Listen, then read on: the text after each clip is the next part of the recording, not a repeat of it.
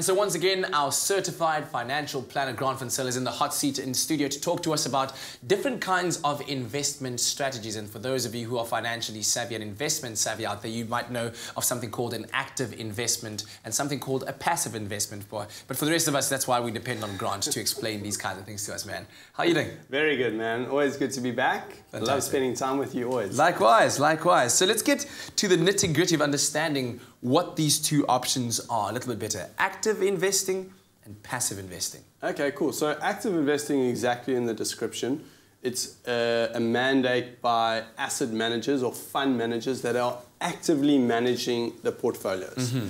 Passive investing has very little uh, human intervention and is really tracking a specific index. So, like something like the All Share Index or de depending what sector in the industry you're wanting to track that you feel that you understand, it will track that specific index. So there's very little active management, hence the wording passive. It's passive. Yeah. yeah. So we'll, get to that in a bit, but let's go back to the active investing strategy and the rationale behind having a manager okay. of an asset fund or your investment. Yeah, so I think the rationale behind active management, which is pretty much the biggest uh, strategy that most people use mm-hmm. today, is the fact that there's highly skilled individuals um, that are making decisions. Uh, you can also, depending on the economic times, you can adjust your investment uh, uh, asset allocation so that you are within those sort of economic volatilities. Mm-hmm. Um, then also what happens is the different fund managers or asset managers can create funds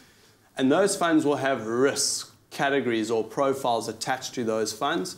And there's a specific benchmark in each one of those funds. And mm-hmm. those asset managers, the idea is to outperform that benchmark. Okay. Um, so that's why it gives you a little bit more diversification um, mm-hmm. from an actively managed investment strategy. Yeah. So on, on the one hand, if you have an investment manager who's actively managing your portfolio, on the other side, at the passive investment strategy side, who do you depend on there? Yeah, so there will also be a fund manager, but the fund manager is going to be very limited to the input that he puts into that fund. So he'll choose a specific index. So let's say the, the top 40 shares on the all share in, uh, on the JSE, and basically what he'll do is he's going to try and track that index as close as possible. So that's the whole objective. It's not really to outperform it, it's just to track it.